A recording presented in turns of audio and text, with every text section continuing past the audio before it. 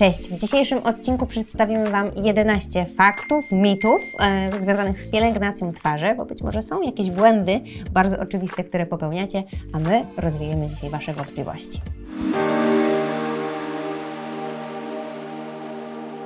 Mit numer jeden, który dotyczy też jednego z pierwszych etapów pielęgnacji naszej skóry, czyli demakijażu.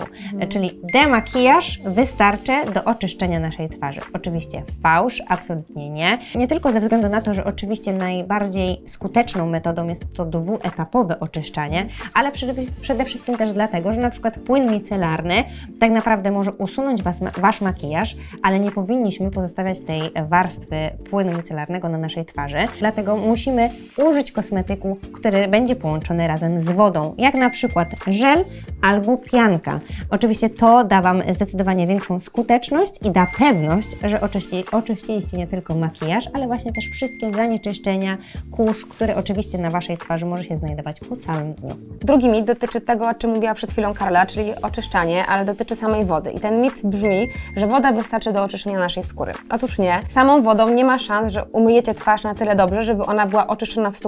Do tego potrzebujemy tych produktów, o których mówiła Karolina, czyli żeli i pianek. Y, woda sama w sobie nie ma właściwości myjących, czyli nie oczyści Waszej skóry z takich tłustych warstw typu sebum, a również nie oczyści porów, ani nie spilinguje, czyli nie oczyści Was, mm, Waszej skóry z martwego naskórka. Pamiętajcie o tym, że sama woda, mówię, że u Panów przede wszystkim. Tak. Dużo Panów myje tylko twarz wodą, ale to naprawdę nie oczyści dobrze Waszej skóry. Trzeba sięgnąć po konkretny kosmetyk. I pozostajemy właśnie przy oczyszczaniu naszej twarzy.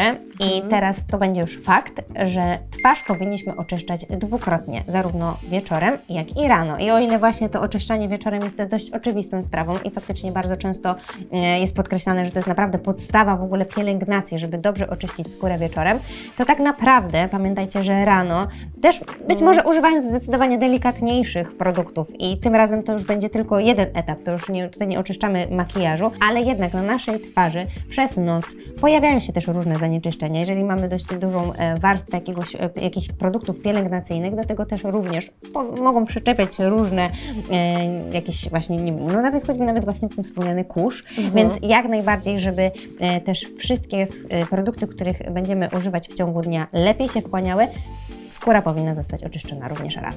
Kolejny mit dotyczy toniku oraz płynu micelarnego. Mam wrażenie, że sporo osób myli te produkty i tak naprawdę stosuje je zamiennie, a jest to naprawdę duży błąd, dlatego że te kosmetyki różnią się, ich właściwości działania to zupełnie inna bajka. Płynem micelarnym oczyszczamy skórę i musimy go później usunąć z naszej buzi. O tym mówiła przed chwilą Karola, ale powtórzę, bo to jest naprawdę istotne i też przez długi czas my się tego uczyłyśmy, że to absolutnie nie stonizujecie waszej skóry, tylko ją oczyścicie. Natomiast tonik, tutaj konkretnie woda różana, to jest produkt, którym nie oczyścicie waszej skóry, czyli też nie używacie go jako do demakijażu na przykład, e, ale do wyrównania pH waszej skóry, które zostało zaburzone przez płyn do oczyszczania.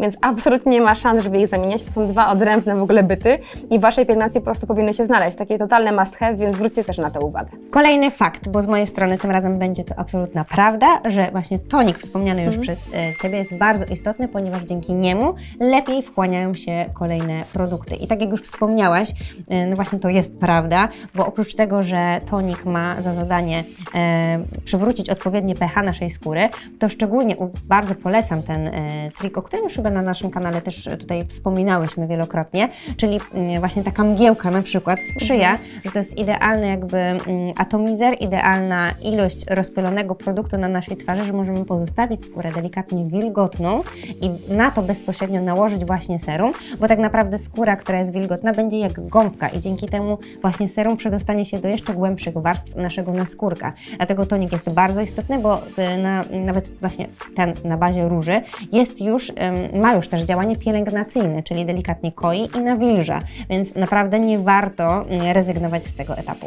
Kolejny fakt dotyczy kolejności nakładania kosmetyków i faktem jest, że faktycznie ta kolejność ma znaczenie.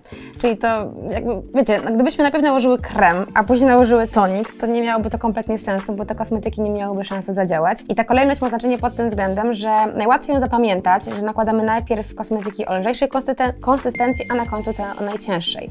Czyli najpierw nakładamy tonik, który jest po prostu lekką mgiełką, ma to pH wyrównać, przywrócić naturalne pH naszej skóry.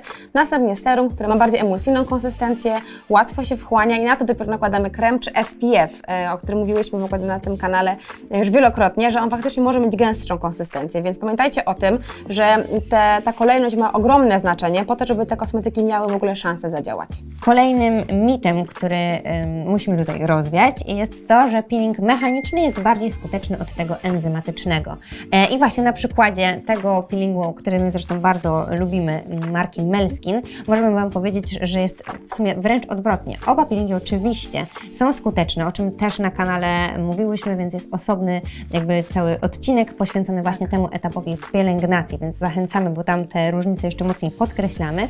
Natomiast właśnie ten peeling, tu konkretnie jest w ogóle jeszcze taka konsystencja, którą, e, w której możemy pobawić się w małego chemika i dopiero właśnie jakby zbudować odpowiednią tak. konsystencję dopasowaną do naszej e, cery. Więcej o tym produkcie tutaj koniecznie zerknijcie. Ale jeżeli chodzi o peeling enzymatyczny, on przez to, że właśnie nie ma drobinek, tylko e, jest jakby idealną taką, no tutaj w tym przypadku taką żelową, delikatnie konsystencją, on też właśnie dość głęboko w, jakby wnika w głąb naszej skóry, więc też napra tak naprawdę działa no właśnie głębiej, mhm. przez to być może ten efekt nie jest tak natychmiastowy jak po peelingu mechanicznym, kiedy możemy pozbyć się jakichś właśnie nierówności, tylko on ma za zadanie też właśnie pozbyć się tego, co jest pod skórą, więc tak naprawdę mm, długofalowo zdecydowanie ten peeling bardziej rozjaśni, oczyści, więc jak najbardziej, jeżeli chodzi tutaj o peeling mechaniczny i enzymatyczny, ten jest też zdecydowanie bardziej polecany dla e, cer problematycznych, mhm. Mm, ponieważ mechaniczny może po prostu te wszystkie jakieś nierówności, zaskórniki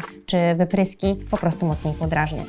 Kolejny mit dotyczy kremu pod oczy. I ten mit dotyczy chyba trochę nas, bo my przez jakiś czas w ogóle nie używałyśmy kremu pod oczy, przyznajemy się. Że to był taki etap, który pomijałyśmy. I ten mit dotyczy tego, że dopiero tego 35 roku życia ten krem powinien pod oczami lądować. I jest to nieprawda. Prawdą jest, że skóra wokół oczu i pod oczami jest najdelikatniejsza, jeżeli chodzi o strefy skóry na naszej twarzy, więc należy o nią dbać już nawet po 20 roku życia, tak po prostu prewencyjnie, żeby po prostu ona nie wiotczała, żeby nie szarżała, bo tutaj nie chodzi tylko o działanie przeciwzmarszczkowe, ale też o kolor naszej skóry, o to, żeby ona po prostu wyglądała dobrze, żeby nawet jak macie makijaż, to ten makijaż lepiej się trzyma na skórze, która jest dobrze nawilżona, nie jest przesuszona. Więc myślę, że tak po 20 roku życia warto sięgać, albo po 25 roku życia ogólnie nasza skóra pod oczami traci sprężystość, więc już w ogóle później to przeciwzmarszczkowe działanie im szybciej, tym lepiej. My jesteśmy tego przykładem, że na początku totalnie krem pod oczy, nawet nie wiem, czy którakolwiek z nas miała w łazience, a teraz to jest tak bardzo ważny etap pielęgnacji, że nie ma szans, żebyśmy go pominęły, więc rano i wieczorem pamiętajcie.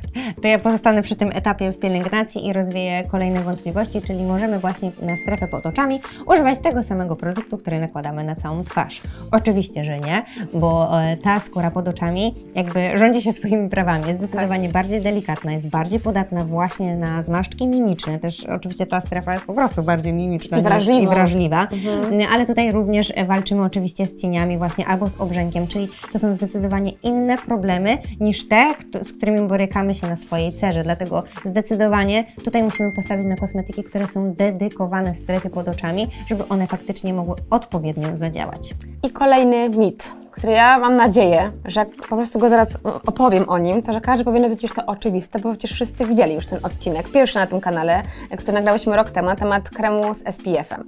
I ten mit dotyczy tego, że kremu z SPF-em używamy tylko latem, no przecież wtedy mam takie mocne słońce. Jest to totalna bzdura i my też tego się musiałyśmy nauczyć i to z czasem mam wrażenie, że ta edukacja w tym kierunku poszła naprawdę mocno, że to już wszyscy wiemy. Jak ktoś mi napisze w komentarzu, że nadal nie używa SPF-u zimą, to ja nie wiem. To ja wyjdę z ekranu i po prostu po łapach. Pamiętajcie o tym, że SPF używam przez cały rok, dlatego że tutaj nie chodzi tylko o promieniowanie UV, ale również UVA, które przez cały rok może nam zaszkodzić.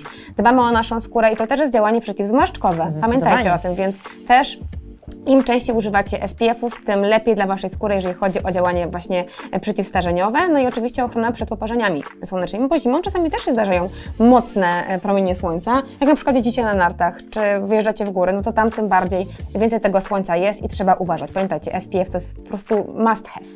I ostatni tak naprawdę mm, mit, y, że kosmetyki eko są bardziej bezpieczne niż pozostałe. Y, I tak ja na... się na to naciąłem. I tak naprawdę przyszedł taki czas, kiedy właśnie te kosmetyki z bardzo naturalnymi składami były mocno windowane, mocno e, jakby pchane i no właśnie Promowane promowane mocno. że jest, są, jest, są najlepszym rozwiązaniem, a tak naprawdę jeżeli chodzi o bezpieczeństwo naszej skóry, tutaj nie ma tu mm, zależności od tego, czy to jest naturalny skład, czy nie, ale przede wszystkim chodzi o badania, o badania dermatologiczne.